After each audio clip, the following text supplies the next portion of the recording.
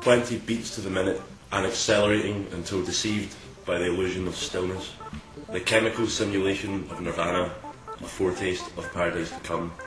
Ignoring the aftertaste and the cramp in your guts, you dance entranced to the strobe centre of the universe, where you love everyone, cry out inarticulate in your ecstasy.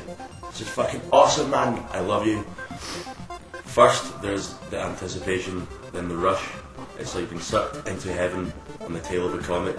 You're hot, and when she touches you, every pore of you orgasms, and you're lost in her eyes.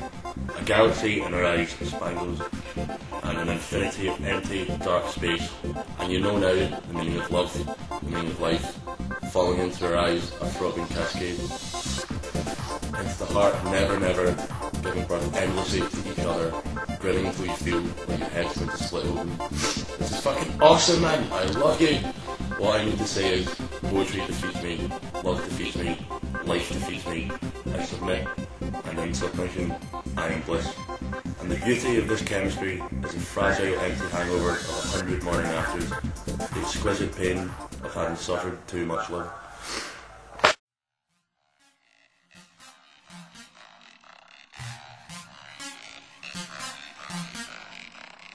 Thank